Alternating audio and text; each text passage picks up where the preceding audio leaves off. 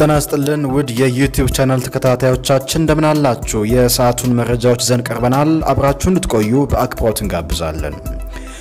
ዛሬ በ24 ሰዓታት ምርመራ 169 ሰዎች ኮሮና ቫይረስ እንደተገኘባቸው ጤና ሚኒስቴር በፌስቡክ ገጹ አስታውቋል። አንድ ታማሚ ደግሞ ሴት ሕይወቷ አልፏል። ከነዚህ ውስጥ 138ቱ ከአዲስ አበባ ናቸው። በክረምቱ ወራት አምስት ቢሊዮን ችግኞችን የመትከል መርሃ ግብር ዛሬ በሐዋሳ ከተማ እንደተጀመረ ከጠቅላይ ሚኒስትር ጽህፈት ቤት ፌስቡክ ገጽ ተመልክተናል። ችግኝ ተከላው የሚካሄደው አረንጓዴ አሻራ በተሰኘው የጠቅላይ ሚኒስትር አብይ አህመድ መርሃ ግብር አማካኝነት ነው። ውጭ ጉዳይ ሚኒስትር ገዱ በአዲስ አበባ የደቡብ ሱዳን አምባሳደር ጄምስ ሞርጋንን በአካል እንዳነጋገሩ ከሚኒስትሩ ፌስቡክ ገጽ ተመልክተናል። ሀገራቸው ለግብፅ ወታደራዊ ጦር ሰፈር ፈቅዳለች ተብሎ የተሰራጨው ዘገባ በድጋሜ አስተባብለው ጁባ የኢትዮጵያን ብሔራዊ ጥቅም በሚጎዳ ድርጊት እጇን እንደማታስገባ አምባሳደሩ ለገዱ አሳውቀዋል። ሕግ አስከባሪዎች በኦሮሚያ ክልል ሐኪሞችና ሆስፒታል ሰራተኞች ላይ በተደጋጋሚ አካላዊና ስነ ልቦናዊ ጥቃት ይፈጽማሉ ሲል የኦሮሚያ ሐኪሞች ማህበር በፌስቡክ ገጹ ባሰራጨው መግለጫ አስታውቋል።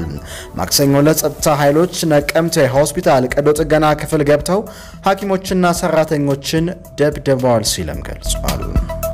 ከፍተኛ መጠን ያለው አደንዛዥ እጽ ከኢትዮጵያ ወደ ኬንያ የገባ እንደሆነ የኬንያው ዘ ስታንዳርድ ጋዜጣ ዘግቧል።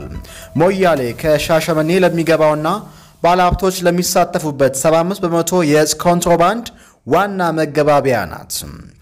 በኮሮና ወረርሽኝ ሳቢያ ድንበሩ ቢዘጋም በአዳዲስ መስመሮች በመኪናና ሞተር ሳይክል ወደ ናይሮቢ በስፋት እየገባ እንደሆነ ተገልጿል።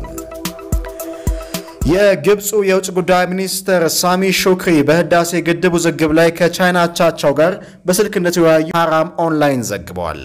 ኢትዮጵያ ግድቡን በተናጥል መሙላት እንደሌለባት የሀገራቸው አቋም መሆኑን ሹክሪ ለአቻቸው አስታውሷቸዋል።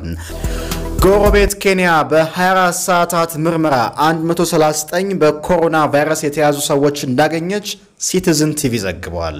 ጅቡቲ ደግሞ 69 በቫይረሱ የተያዙ ሰዎችን ማስመዝገቧን ሆርን ዲፕሎማት በድረገጹ ዘግቧል። የተከበራችሁ ለሰዓቱ የያዝነው መረጃ ይህንን ይመስላል። በቀጣይ በሌላ መረጃ እስከምንገናኝ ድረስ ጤና ይስጥልን።